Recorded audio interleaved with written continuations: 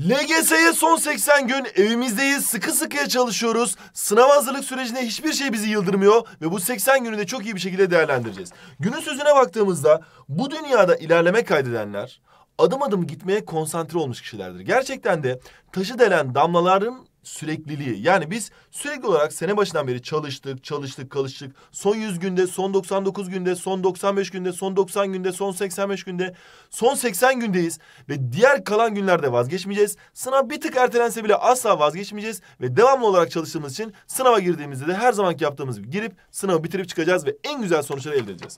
Günün yorumuna baktığımızda 218 beğeni almış pro oyuncu hemen bakalım. Hocam sorularım şunlar ama korkmayın. LGS tarzı değil. Sorular LGS tarzı olunca korkuyoruz ya onu demek istemiş. Aslında LGS tarzı olmuş sorun. Bayağı uzun yani. Çünkü LGS tarzı sorular böyle upuzun oluyor. Şimdi hocam bu tatilde kaç genel deneme çözmeliyiz? Şimdi bu tatil veyahut da diğer tatiller fark etmez. Bizim haftada en az iki tane genel deneme çözmemiz gerekiyor. Ama bu tatil biraz daha uzarsa bunu daha fazla artırabiliriz. Veyahut da sınava 80 gün kala değil de sınava 20 gün kala 30 gün kala bunun sayısını dörde çıkarmalıyız. Yani ilk katına çıkarmalıyız. Ama şu anda haftada en az iki deneme çözmeliyiz.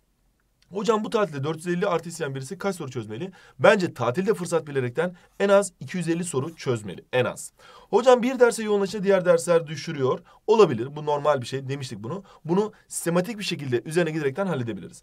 Uzaktan eğitim kaç saat sürer? Muhtemelen okuldakinden daha kısa sürecektir. Çünkü okuldaki kadar öğrencileri uzun süre e, derste tutamazlar. Okulda teneffüsler var, aralar var, öğle tatiller oluyor, şunlar bunlar oluyor. Dolayısıyla uzaktan eğitim daha kısa sürer. Biz de zaten ev okulda eğer takip ediyorsanız mutlaka biliyorsunuzdur. İşte 9.45'te başlayıp veya da 10'da başlayıp 8 sınıflar için 10'da başlayıp 10 11'de birer ders yapıyoruz. Sonra bir ara veriyoruz. Sonra iki ders yapıyoruz ve bu şekilde ilerliyoruz. Türkçe, matematik, fen, İngilizce, sosyal bir şekilde ilerliyoruz. Dolayısıyla okuldan daha kısa sürüyor. Çünkü daha yoğun bir eğitim olmuş oluyor.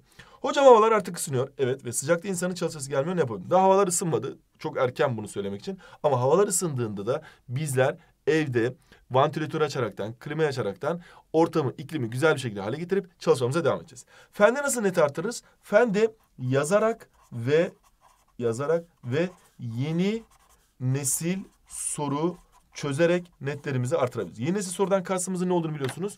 Daha güncel yaşam soruları, deneye dayalı sorular çözmemiz lazım. Çünkü sınavda karşımıza onlar çıkacak ve örnek soruların her birini çok iyi anlamamız lazım. Örnek soruları çok iyi anlayabiliyorsak sınavdaki soruları da yapabiliriz. Hocam matematikten her hafta yeni nesil soru çözümü yapsanız olmaz mı? Yahut yeni nesil sorular hazırlayıp PDF yapsanız olur mu? Olur. Zaten yeni nesil soruların çözümünü yapıyoruz. Eğer ev okulu takip edersen bunları rahatlıkla görebilirsin. Birisinin notları 420-495 arasıymış. 500 puan oluyor muymuş? Olabilir. 420 puandan 500 puana bu 80 günde çok ciddi bir şekilde çıkılabilir.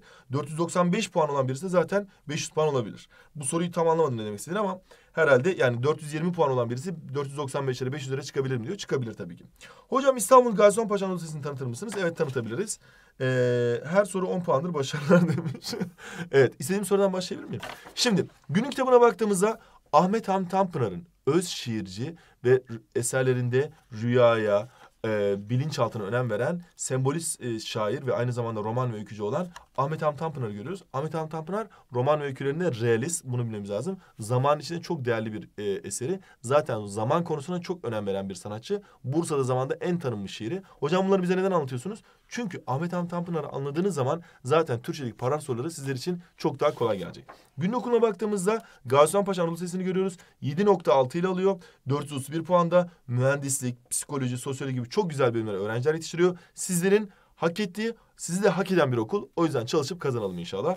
Günün kaynağına baktığımızda Dinamo Set. Dinamo Set'ten kastımız tabii ki artık tatil olduğumuz için daha fazla ders çalışabilme imkanımız var. Ve bunu set olarak alabiliriz. Yani sadece bir tane Dinamo Türkçe almak yerine tabii bu arada Dinamo Türkçe'den içini şöyle bir gösterelim. Bakın hep böyle yeni nesil beceri temelli sorulardan oluşuyor. Ve içerisinde mutlaka sizin e, çözmeniz gereken, aa bu sınavda bu sorunun aynısı gelebilir diyebileceğiniz sorulardan oluşuyor. Bu soruları mutlaka çözmelisiniz. Dinamo set olunca biraz daha avantajlı oluyor. İçerisinde hem din, hem İngilizce, hem inkılap, hem fen, hem Türkçe, hem matematik var. Ve seti bitirmeniz lazım ve böylece netlerinizi artırmanız lazım. Gerçekten şu setin içerisinde LGS sorularının çoğu bulunuyor olabilir. Çok e, iyi hazırlanılmış özel bir set. Hemen diğer sayfaya geçiyorum. Günün sorusu sınavlarda genellikle hep benzer hatalar yapıyorum. Cümlesi anlatım bozukluğu neden kaynaklanmaktadır diyor. Geçen sene de anlatım bozukluğu gelmişti. Bu sene de gelebilir. Dikkatli olalım. Günün geyiği yazılılar böyle çok artistiriyordu. Hepinizi yiyeceğim diyordu. Korona gelince yazılarda piu diye kaçtı. Demek ki yazıları da korkutan birileri varmış. Tebrik ediyoruz koronayı ama dikkatli olacağız. Koronadan biz de korkacağız. Ellerimizi sıkı sıkı yıkayacağız. Sağlığımıza dikkat edeceğiz. Yetişkin insanlarla, büyük insanlarla çok fazla görüşmeyeceğiz. Kalabalık ortamlarda bulunmayacağız. Ve bu tatili bizim için bir avantaja çevirip derslerimize daha iyi çalışıp netlerimizi artıracağız. Hadi bakalım ödüllü soru yorumlarınızı bekliyoruz. İyi çalışmalar diyoruz. Ev okulda da sizleri mutlaka bekliyoruz arkadaşlar.